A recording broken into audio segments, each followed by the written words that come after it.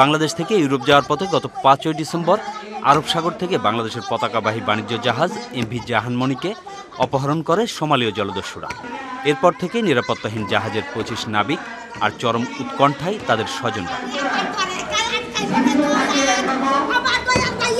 আমরা জানতে পারতেছি না আমাদের এই জীবিত এই ছাব্বিশ জন নাবিক কেমন আছে, কি করতেছি, কোথায় আছে আমার সন্তান চাই, আমি আর কিছু চাই না। আমি বিধবা নারী। বারোই ডিসেম্বর মাত্র একদিনই বন্দি নাবিকরা তাদের পরিবার এবং জাহাজ মালিকদের সঙ্গে কথা বলার সুযোগ পায়।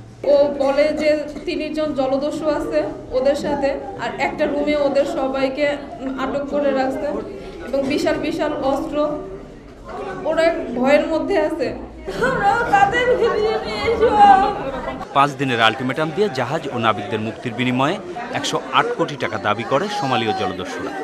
আলটিমেটামের সময় পার হয়েছে সতেরো ডিসেম্বর। আমাদের কোনো আনুষ্ঠানিক দাবি নয় আমরা আমাদের জিম্মিকৃত নাবিকদেরকে উদ্ধারে চাই। এই মুহূর্তে প্রধানমন্ত্রীর কাছে আমার আন্তরিকভাবে অনুরোধ এবং তিনি সরাসরিভাবে এটা তাদের উদ্যোগ গ্রহণ করবেন সরাসরি হস্তক্ষেপ গ্রহণ করবেন।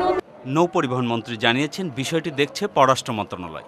নৌ পরিবহন মন্ত্রণালয়ের কাছে তেমন কোনো নতুন তথ্য নেই। এই ব্যাপারে ফরেন মিনিস্ট্রি বলতে পারবে এই ব্যাপারে আমাদের কাছে এখন পর্যন্ত ওটুকুই আছে যে জাহাজটা সোমালিয়া নিয়ে গেছে এই পর্যন্ত।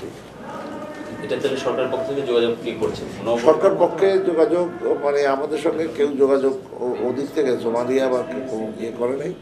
আমরা যে যে জায়গায় ইন্টারন্যাশনাল চ্যানেলগুলো আছে যারা এইসব ব্যাপারে মানে রিলেটেড তাদেরকে আমরা বলেছি তারা দেখা যায় কি অবস্থা অবিলম্বে তাদের উদ্ধারের ব্যবস্থা না নিলে বড় ধরনের ক্ষতির আশঙ্কা করছেন দস্যুদের হাতে জিম্মি জাহাজ ক্রুদের পরিবারের সদস্যরা।